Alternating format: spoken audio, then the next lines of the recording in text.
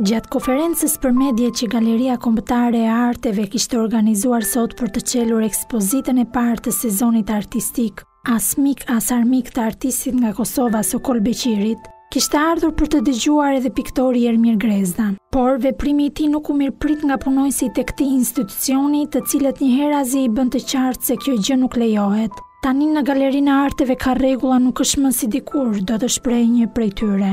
Prandaj Grezda duhet të vizitojë ekspozitën vetëm kur të çelet për publikun. Pas përfundimit të konferencës piktorin e takojmë jashtë galerisë. Ai mbante një pankartë të varur në qafë në të cilën shkruan se Galeria e Arteve, Shkololli 2019, jo artistëve të Tiranës.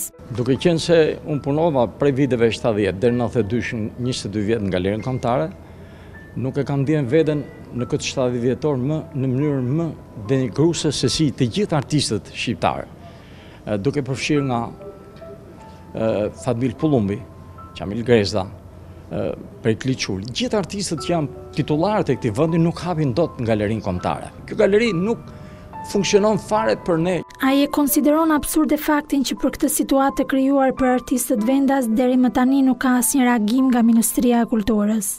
Askush nga Ministria nuk vjen në këto ose në problematikat që lindin në shtyp prej shumë kohësh. Kjo nuk është vetëm protesta ime.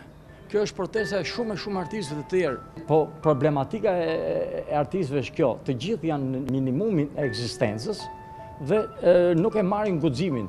Janë shtypur në mënyrë të atillë që s'kanë zë, s'kanë shpirt. Kjo është një çudi, një që s'ka ndodhë në 45 vjet as në kohën e diktaturës. Piktori Ermir Grezda do të vazhdojë që të shikojë të gjitha ekspozitat që do të çelen në Galerinë Kombëtare të Arteve.